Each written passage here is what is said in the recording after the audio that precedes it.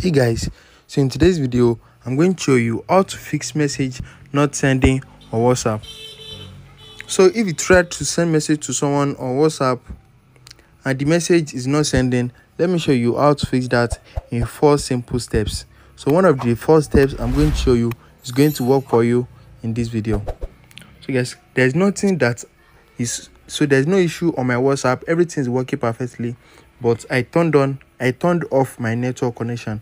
So the first thing you can do is that make sure your network is turned on. So make sure your data is turned on. And if you are using wi-fi make sure you are connected to your wi-fi. So you can also turn on your airplane mode and turn it back off. So this might fix the issue of your message not sending on whatsapp.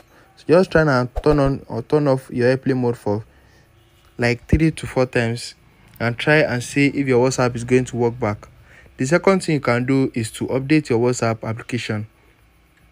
So there are sometimes that if they release a new version of any app the old version might start misbehaving. So just try and update your whatsapp on app store or play store and make sure it is updated to the latest version. So the third thing you can do is to clear the cache of your whatsapp. So there might be a bug in your whatsapp application that you need to clear let me show you how to do that. Head over to settings.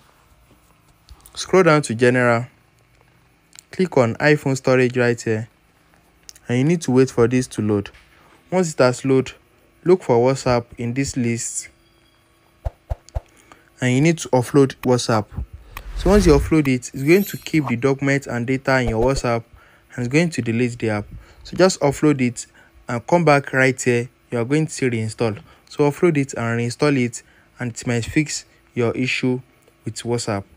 The last thing you can do is to check if there's any trouble with the whatsapp itself.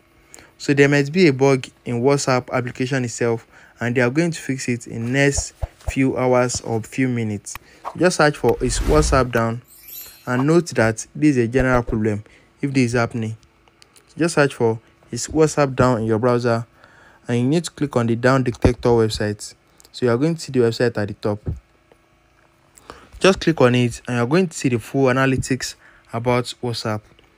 So let's wait for this site to load. So they are going to show the full analytics of whatsapp. And if you notice any sudden spike up in whatsapp so if you notice any sudden spike up like this that means the issue is from whatsapp itself and they are going to solve it very soon. so just make sure everything is going normally like this former one and make sure there's no sudden spike up. Because if there's any sudden spike up it is the whatsapp that is misbehaving itself and it is not your phone or your whatsapp application. So just try these four simple steps and it's going to fix the issue of message not sending on whatsapp. If you have any question about this drop them in the comment down below and don't forget to like share and subscribe to my channel. Thanks for watching guys